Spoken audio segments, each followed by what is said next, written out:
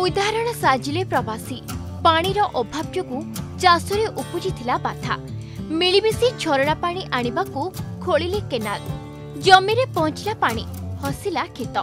କୁହନ୍ତି ଇଚ୍ଛାଶକ୍ତି ଥିଲେ ଉପାୟ ଆପେ ଆପେ ଆସେ। ଆଉ ଏହାକୁ ପ୍ରମାଣ କରି ଦେଖାଇଛନ୍ତି କନ୍ଧମାଳ ଜିଲ୍ଲା ଦାରିଙ୍ଗବାଡ଼ି ବ୍ଲକ ଗୁହିବାଡ଼ି ଗାଁର ପ୍ରବାସୀ। କରୋନା ସ୍ଥିତିରେ କାମଧନ୍ଦା ମିଳୁନଥିବା ବେଳେ ରାଜ୍ୟକୁ ଫେରିଥିବା ପ୍ରବାସୀ ପୁଣି ରାଜ୍ୟ ବାହାରମୁହାଁ ହେଉଛନ୍ତି। ଏମିତିରେ ରାଜ୍ୟ ବାହାରକୁ ଫେରିବା ଅପେକ୍ଷା ଚାଷକୁ ଆପଣାଇଛନ୍ତି ଏହି ପ୍ରବାସୀ।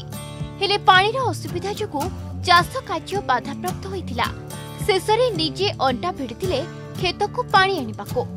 ଗାଁଠାରୁ ଗୋଟେ କିଲୋମିଟର ଦୂରରେ ବହିଯାଇଥିବା ଝରଣା ପାଣିକୁ ଆଣିବା ପାଇଁ ମିଳିମିଶି କେନାଲ ଖୋଳିଲେ ଆମକୁ କନ୍ଧମାଳ ସବୁଜ ବୈଧ ସଂଗଠନରୁ କର୍ମୀମାନେ ଆସିକି ଆମକୁ ଉତ୍ସାହ ଉଦ୍ଦୀପନା କରାଇକିରି ଆମେ ଗାଁ ଲୋକ ଏକତା ହୋଇକି ଆମେ ଏ କାମ ମାନେ ମାଟି କାମ ଯାହା ଯେତିକି କାମ ହାତରେ ସକ୍ସେସ୍ ହେବ ସେତିକି କରାଇଛୁ।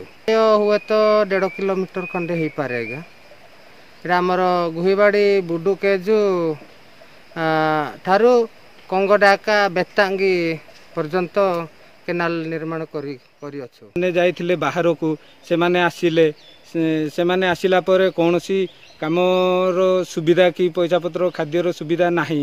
ତେଣୁକରି ଆମେ ସମସ୍ତେ ମିଶିକି ଯେପରି କେନାଲ ନେଲେ ଆମେ ଆଗକୁ ଚାଷବାସ କରି ଆମେ ବଞ୍ଚିବା ବୋଲି ଆମେ ଚିନ୍ତା କରିକି ଏ କାମଟା କରିଛୁ ଆଜ୍ଞା। ସବୁଜ ବୈଦ୍ୟ ସଂଗଠନର ସହଯୋଗରେ ଆରମ୍ଭ ହେଲା କେନାଲ ଖୋଳା କାମ। ଗାଁର ପଇଁତିରିଶ ପରିବାରର ସମସ୍ତ ସଦସ୍ୟ ଏଥିରେ ଲାଗି ପଡ଼ିଲେ। ପ୍ରାୟ ପାଞ୍ଚ ଦିନରେ ଏକ କିଲୋମିଟର କେନାଲ ଖୋଳି ଜମି ନିକଟକୁ ପାଣି ଆଣିଲେ। ଏବେ ଗ୍ରାମବାସୀଙ୍କର ଆନନ୍ଦ କହିଲେ ନ ସରେ। ସେମାନଙ୍କ ଜମିରେ ପାଣି ହୋଇଥିବାରୁ ଏବେ ବର୍ଷ ସାରା ଫସଲ ଉଦ୍ୟାନ କରିପାରିବେ। ଆଉ ଦାଦନ ଖଟିବାକୁ ବାହାର ରାଜ୍ୟକୁ ଯିବାକୁ ପଡ଼ିବ ନାହିଁ ବୋଲି କହିଛନ୍ତି ଗ୍ରାମବାସୀ। ଆମେ ଟୋଟାଲି ଚାରିଶହ ଗାଁରେ କାମ କରୁଛୁ। ବିଭିନ୍ନ ପ୍ରକାର ଅ, ଗାଁରେ ଯେଉଁ ଇନଫ୍ରାଷ୍ଟ୍ରକ୍ଚର ଡେଭଲପ୍ କରିବା ପାଇଁ ଯେଉଁ ମିନିମମ୍ ଇନଫ୍ରାଷ୍ଟ୍ରକ୍ଚର କେଉଁ ଗାଁରେ ରାସ୍ତାଟେ ନାହିଁ କେଉଁଠି ପାଣିର ସୁବିଧା ନାହିଁ ଅ, କେଉଁଠି ଚାଷବାସର ଉମ୍, ଅସୁବିଧା ହେଉଛି ଏସବୁ ଉପରେ ଆମେ ଖାସ କରି କାମ କରୁଛୁ ଆଉ ସତୁରି ଫ୍ୟାମିଲି ମଧ୍ୟରେ ଆମେ ସମସ୍ତଙ୍କର ତ ଜୀବିକା ହେଉଛି ଚାଷ ହିଁ। ଏଇ କେନାଲ କାମ କରିବା ଦ୍ୱାରା ଆମ ଚାଷ କାମ ଉପକୃତ ହେବ। ଆମେ ମଧ୍ୟ ସମସ୍ତେ ଉପକୃତ ହବୁ ବୋଲି ଆମର ଆଶା।